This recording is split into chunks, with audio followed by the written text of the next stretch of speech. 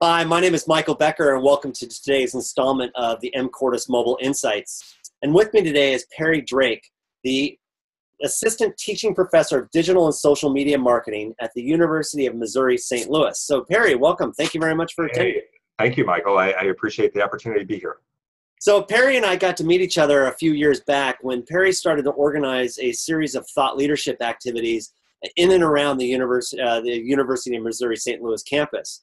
And this year, he's is, is it your third year, Perry? This is our fourth, actually. Fourth year. So yeah. Perry is, is, in his fourth year has launched the Midwest Digital Marketing Conference, which brings literally hundreds of uh, senior marketers and executives uh, from within the uh, Missouri St. Louis region, uh, but really from all across the country now as well. You're four years in, and what we wanted to use this installment of today's uh, session was to talk to Perry a little bit about what was the impetus around starting the conference, uh, where he think, sees things happening, uh, and what key kind of messages uh, he thinks critical for uh, senior marketers and executives to be taking away from this event and bringing into their businesses today. So, with that kind of introduction, Perry, please can you tell us a little bit about yourself, how you got started with all of this, and uh, let's start uh, understanding your event a little bit. Sure, sure. Thank you, Michael. So as, as Michael said, you know, this this is my fourth year doing the event. Uh, we are actually moving off campus. Michael was there last year. We outgrew the conferencing facilities at the University of Missouri, so giving us the opportunity to go off campus to Union Station, which is kind of St. Louis's version of Grand Central Station in New York City. Um, we're expecting maybe close to about 900 individuals, again, within St. Louis and, and outside of the region. The, the, the whole premise of the conference kind of started three plus years ago when I came back to the University of Missouri at St. Louis to teach and wanted to kind of bring in some thought leaders from outside the St. Louis region to just have great deep discussions on innovation within the digital tech, social, and innovation sort of space. Uh, the startup ecosystem here in St. Louis is pretty vast. So this year, in addition to that, I'm kind of pulling in the startup ecosystem a little bit and, and bringing in innovation into the discussion. So Michael, as you know, you know, the theme is innovation without borders. So it's really kind of focusing on where are we as marketers and communicators really kind of blazing the trail headed um, and, and, and what direction so again we've got a lot of great thought leaders including michael um, we've got Pandora coming. We've got BuzzFeed, Refinery 29, Eloqua um, coming in, all talking in the data track, the digital track, the social media track, innovation tech track, and then of course there's an academic, student, and career track as well um, um, for for students like learning how to you know build a really strong LinkedIn profile. Um, so, I mean, I'm, I'm just really excited at the interest and, and the attention that we're, we're getting at the conference this year and, and kind of taking it to that next level and have, having Michael there be one of the, the keynoters uh, to kind of carry that theme through of innovation without borders and again working with the ted society of having them facilitate the keynotes as well um, so I, I, don't know if that kind of answers a little bit of the background. Yeah, it, it, gets us started, but maybe we can start framing it a little bit for our listeners today. So what what's going on? First and foremost, what is marketing? What's its objective and goal? Uh, and how has that changed in the last decade? Oh God, it's like what what I guess what isn't marketing today? Almost everything is marketing in a way. Um, even us is, is our right is our own personal brands. Um, you know, I guess marketing years ago was kind of, you know, kind of having that branding and that logo and, and pushing those messages out. Whereas today it's almost like a 360 degree sort of an involvement with the consumer in, in every regard. I mean, Peyton, did you, I don't know if you saw the thing from Peyton Manning. I think he endorsed Budweiser uh, live on um, an interview. I think after the yeah game after the game, he said, "You know, I'm going to go drink a bunch of Bud." Yeah, and they said it was worth like 13.9 million dollars to Budweiser for that particular endorsement. I mean, everything is just streamed and captured, and it's all about engaging the consumers and your fans where they want to talk about your brand out there, be on social or I guess live live television. But I, I think marketing is is when I'm out there talking. I mean, marketing is, and you well know it. Marketing has never been more complicated.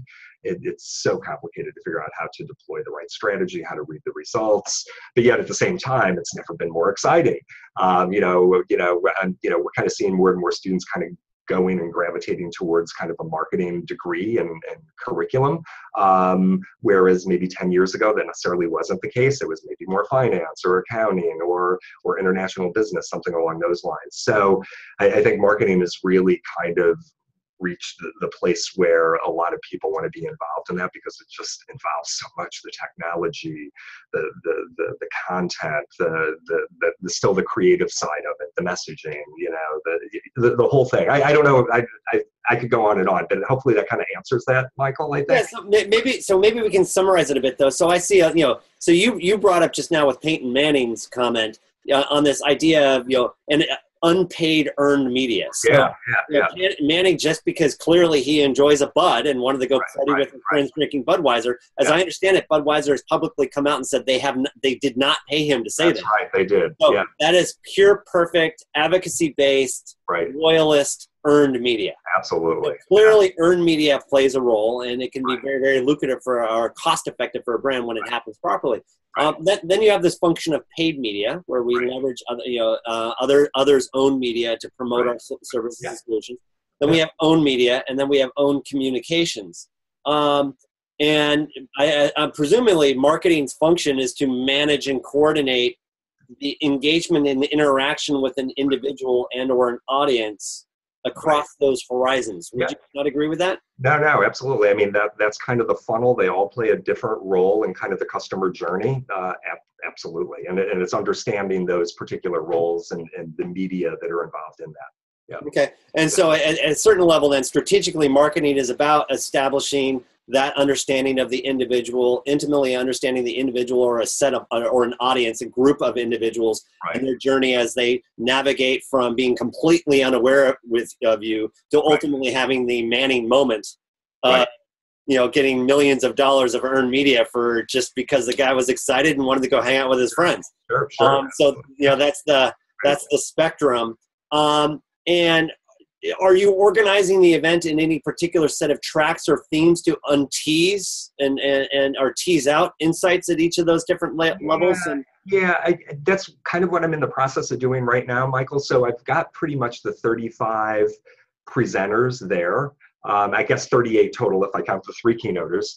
Um, and so right now I'm in the process of speaking with each of those to kind of craft the story that I want to be kind of told throughout the day and to reveal the bits of information that I, I want to reveal. So I was just on the phone with Nielsen, Todd Buden of Nielsen, about an hour ago and just kind of confirming what are what are we going to do there. So what what he's going to really be doing is going back and looking at some of the studies they did with various brands over the past year and kind of come out with a digital strategies best practices based on some of those in-depth studies that they've done where basically again the audio i mean they're, they're doing as you know they're doing all sorts of stuff on mobile with audio watermarks and kind of following around the consumer and and actually I guess listening to some of the background stuff that's kind of going on. Um, sorry, not not necessarily my my industry, um, but kind of capturing that to understand. Hey, you were exposed to this ad or that ad, and you did go to Burger King, and you were listening to it on the radio. And again, the mobile device is kind of